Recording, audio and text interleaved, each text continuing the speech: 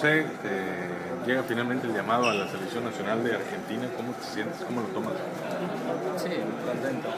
Eh, la verdad que uno siempre sueña desde chico, uno empieza a jugar al fútbol de, poder cumplir ese sueño. Así que ahora que, llega esa situación, la verdad que muy contento, con mucha alegría, un entusiasmo enorme y bueno, esperando poder encontrarme con todos los seleccionados y tratar de ponerme a disposición del técnico. Realmente es una selección candidata a ser campeona del mundo, José. ¿Cómo se toma esto? Entre tantos jugadores con talento argentinos que te hayan elegido a ti para participar en este combinado.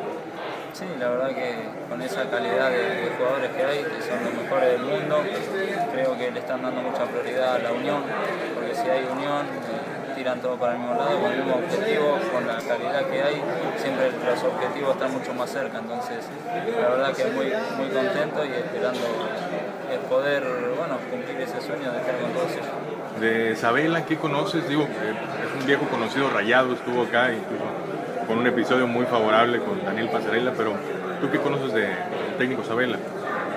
No, la verdad que conozco la, la referencia de medio Claudio Buñali, que es el ayudante de campo, es un entrenador muy serio, un entrenador que le encanta estudiar el fútbol, es un entrenador que, plantea muy bien los, partidos, estudia mucho los, rivales, entonces la verdad que voy a aprender mucho de eso, una experiencia enorme para mí y bueno, tratar de sacarle todo ese fútbol.